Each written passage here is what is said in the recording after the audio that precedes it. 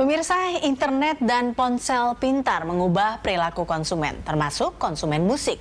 Apabila dulu musisi menjadikan penjualan kaset atau CD sebagai salah satu penghasilan terbesar, kini era digital, album fisik sudah tak lagi diburu. Benarkah kini perusahaan streaming musik yang memanen keuntungan? Bagaimana dengan royalti yang diterima musisi? Kita akan bahas selengkapnya bersama saya Eliza Hasan. Inilah Creative Money.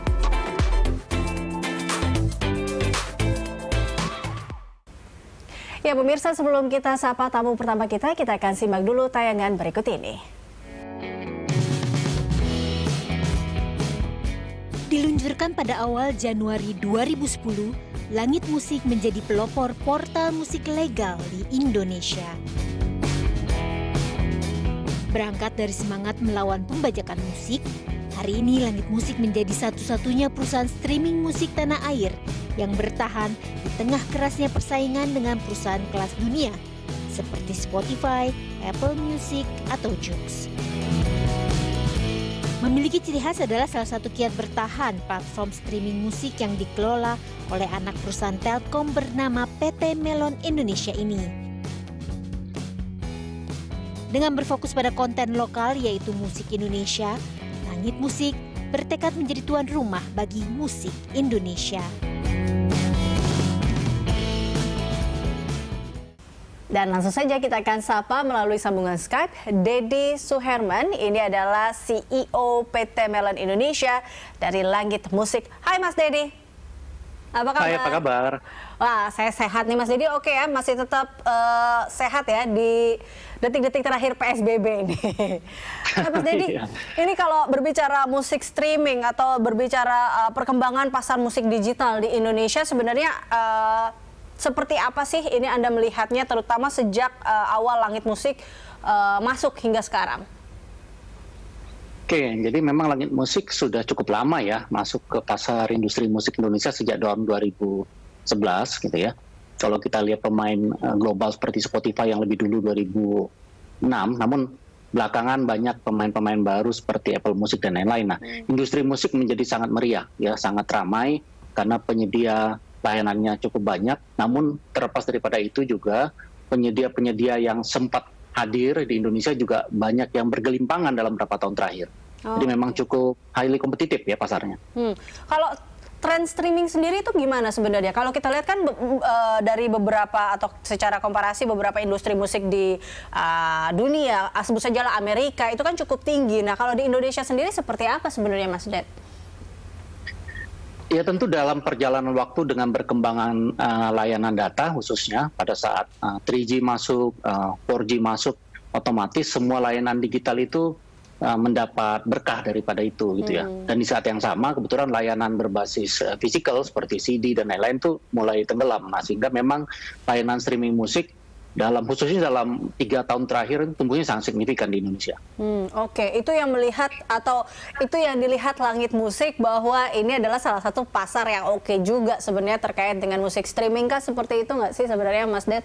Iya iya, memang di awal kami kami mulai 2011 memang pasar streaming masih masih termasuk uh, inisial awal ya karena awalnya masih orang download MP3 saat itu jadi ya, bukan apa, berupa digital streaming namun dalam perjalanan uh, semakin terbiasa orang men-streaming apa pun yang ada di layanan internet sehingga musik salah satu yang growth-nya salah satu yang cukup signifikan tumbuh. Hmm. Sejauh ini berapa sih kalau boleh tahu pengguna dari pelanggan Langit Musik itu sendiri yang tercatat hari ini?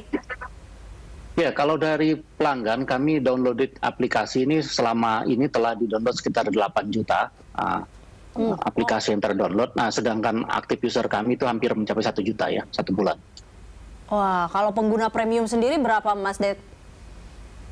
Uh, komposisinya hari ini uh, masih lebih kecil premium dibandingkan pelanggan free ya, hmm. karena kebetulan layanan ini banyak kami bundling bersama dengan telco. Jadi memang definisi premium kami agak unik ya. Oh. Ini juga lebih untuk memberikan uh, diferensiasi ya hmm, hmm. Uh, terhadap layanan lainnya. Jadi misalnya layanan bersama Telkomsel, pelanggan itu juga bisa free dan free kuota data yang menggunakan misalnya layanan IndiHome juga mendapatkan hal yang sama. Oke, uh, berarti kalau kalau dilihat dari beberapa layanan yang ada, inikah juga ada berarti dari Langit Musik sendiri membagikan beberapa tipe-tipe uh, anggotanya kah atau tipe-tipe uh, dari ya tadi ya masuk ke layanan berarti ada juga tipe-tipe anggotanya mungkin premium, ada hal yang lainnya kah seperti itu, Mas Ded? Iya, jadi memang uh, basically ada dua ya seperti semua layanan lainnya yaitu premium dan free ya atau kami sebut juga premium. Jadi sehingga layanan yang premium tentu berbayar, mm-hmm. yang kedua layanan yang free ya memang layanan yang bisa dinikmati gratis. Nah, yeah. apa bedanya? Yang pertama berbayar tentu katalog lagunya paling lengkap. Jadi kami memiliki katalog yang salah satu terlengkap untuk lagu Indonesia dan juga kita memiliki katalog internasional seperti okay. uh, layanan lainnya gitu ya. Nah, hmm. kalau untuk katalog yang free tentu kita buka hanya katalog uh, Indonesia terus terang. Yang kedua, juga layanan itu tidak bisa mereka pilih secara on demand. Jadi mereka harus memilih satu lagu kemudian dishuffle dengan lagu berikutnya. Hmm, oke. Okay. Uh, eh, Mas Ded, kalau kita berbicara musik streaming ini berarti kan ada perubahan tren. Kalau dulu kita mau nyari musik carilah yang uh, apa ya, fisik secara fisik. Bagaimana triknya menarik pasar yang belum mau berubah dari tren yang lalu? Kalau secara majority, mass market memang mayoritas sebenarnya sudah menggunakan layanan streaming ya. Hmm. Jadi pengguna yang masih menggunakan fisik, malah sekarang ada yang balik lagi mencari uh, laser disc dan segala macam gitu ya. Dan ini memang segmented, jadi memang pengguna-pengguna yang kolektor lah sifatnya ah, dan okay. high fidelity ya.